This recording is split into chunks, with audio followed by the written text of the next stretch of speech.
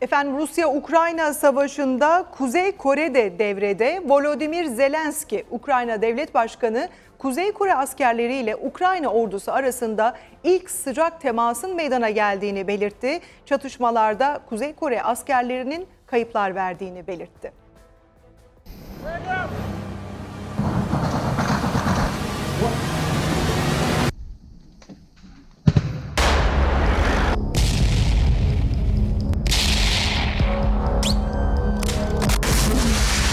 Ukrayna Kuzey Kore askerlerinin Rus toprağı Kursk'ta ilk kez çatışmaya girdiğini bildirdi.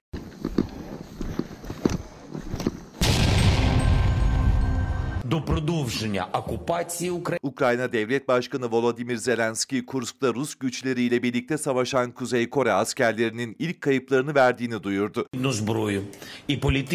Şu anda 11 bin Kuzey Kore askeri Ukrayna sınırına yakın Rus topraklarında özellikle Kursk Oblastı'nda bulunuyor.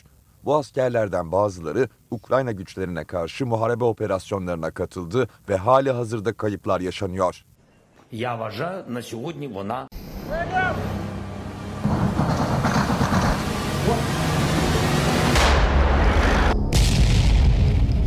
Kuzey Koreli lider Kim Jong-un ordusunu dünyanın en güçlüsü olarak niteliyor. Ancak askerler hiç savaş görmedi ve cepheye yerleştirildikleri araziyi bilmiyor. Uzmanlar çoğunluğunun 19-20 yaşlarında olduğu düşünülen askerlerin dağlık Kuzey Kore'de eğitim gördüklerini ve Ukrayna'nın geniş düz savaş alanlarında hiçbir deneyimlerinin olmadığı görüşünde.